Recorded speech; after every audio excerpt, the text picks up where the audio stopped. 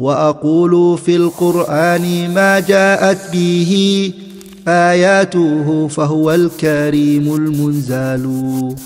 وأقول قال الله جل جلاله والمصطفى الهادي ولا أتأول. الحمد لله رب العالمين له الحمد الحسن والثناء الجميل وأشهد أن لا إله إلا الله وحده لا شريك له يقول الحق وهو يهدي السبيل. واشهد ان سيدنا ونبينا محمد صلى الله عليه وعلى اله واصحابه والتابعين لهم باحسان الى يوم الدين اما بعد Some brothers and sisters they requested from me if I could give them a advice, a nasiha, a wasiyah, a, fa- a farewell advice. And inshallah ta'ala, what is better and greater than giving an advice from the Messenger alayhi salatu wasalam, something he said, an advice that he gave.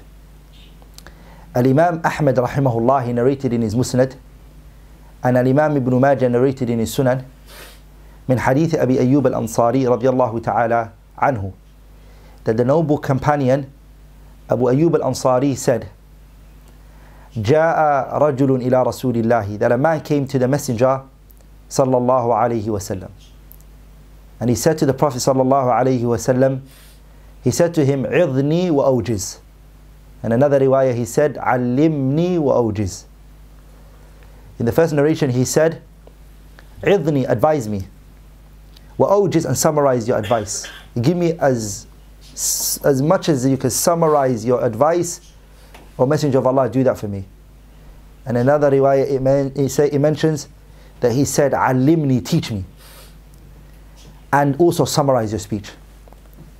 then the messenger sallallahu alaihi wasallam advised him by telling him the following he said to him he said to him إذا قمت في صلاتك فصل صلاة مودع that if you stand up and you pray then make your prayer as though it's the final and last prayer that you're ever going to pray. ولا تكلم بكلام تعتذر منه غدا. The messenger said the second thing is don't say a speech that tomorrow you're going to regret what you said. And the third advice that he gave عليه الصلاة والسلام to him was what? وأجمع اليأس مما في يدي الناس. The third thing that he said to him was have in your heart, I'm going to gather in your heart um, I'm going to bring into your heart the attribute and the characteristics of giving up what's in the hands of the people. Meaning, be a person whose heart is only in need of Allah and his body is only in need of Allah. And that you don't want anything except from Allah subhanahu wa ta'ala and not from the creation. So, this hadith, the Prophet ﷺ advised him with three things. Al wasiyatul ula. Let's look at the first advice. First one is wasiyatu bis salah. The advice was prayer. The Messenger advised him, sallallahu alayhi wasallam, this companion who asked for advice, he advised him prayer. And how did he advise him with the prayer? He, he told him al-inayatu biha. That you give a lot of consideration to the prayer and that you pray it in the way that it should be prayed. If a person knows that tomorrow they're going to pass away or they're going to die, and this is the last chance that they have in this world, this salah they're going to make sure that they pray correctly. By doing what? By observing the ruku' and the sujood and the qiyam and the tilawa. The sujood will be correct. The qiyam, the standing will be correct. The person will do the ruku' in the correct manner. Even the person will recite the Quran properly. And the person will come with khushu'. Also that person would observe the timing and they'll pray at its earliest time and as soon as it comes in, the time that a believer should pray. The person will observe that. So that's the first advice that the Prophet ﷺ gave him. Uh, al-inayatu bis salah, giving consideration to the prayer and perfecting the way that you establish your prayer. The second advice that he gave him alayhi salatu wasalam was بِحِفْظِ lisan Protect your tongue. And look at your tongue and look what you say. He said, وَلَا تَكَلَّمْ بِكَلَامٍ don't say a speech and utter a word تعتذر منه غدا that tomorrow you have to ask for excuse you have to ask for people to understand where you are coming from don't say something that you're going to regret observe your speech in the first place The messenger sallallahu alaihi wasallam he said to us in another hadith من كان يؤمن بالله واليوم الآخر فليقل خيرا أو ليصمت If you are a person who believes in Allah and the day of judgment, then say something good or be silent.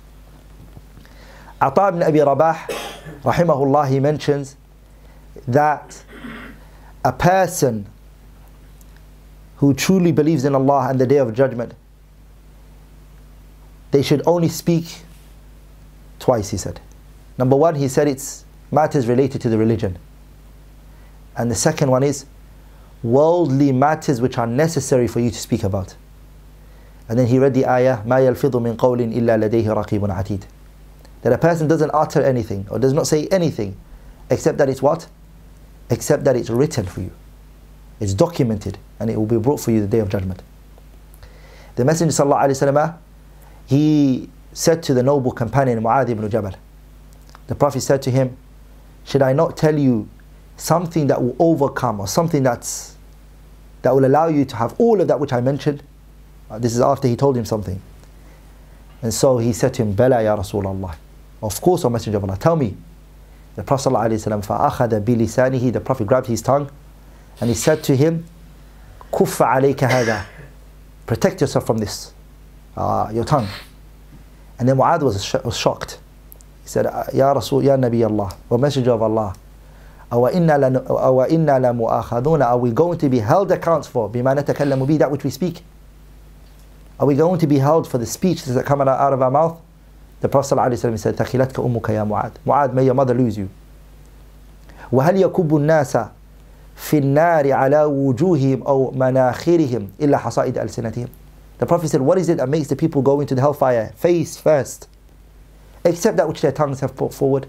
What is it else? There are people going into the hellfire face first, except that which their tongues have put forward.